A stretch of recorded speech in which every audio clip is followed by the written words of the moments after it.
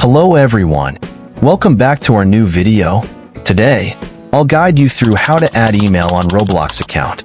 If you've been searching for a way to add an email address to your Roblox account, you've come to the right place.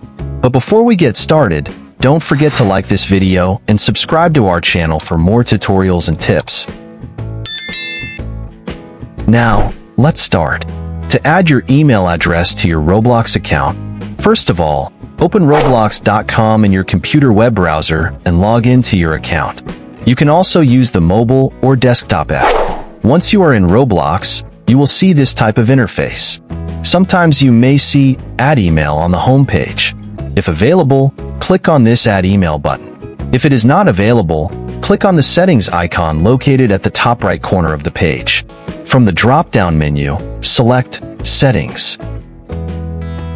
On the Settings page, you will see various options on the left side of the screen. Click on Account Info. Look for the email address under your username. Click on the Add Email on the right side of the email address. A new window will appear. Type in your valid email address in the email field box and click Add Email. After adding your email, Roblox will send a verification email to the address you provided. Now, go to your email inbox and click on the verification link. Your email address is now successfully added and verified on your Roblox account.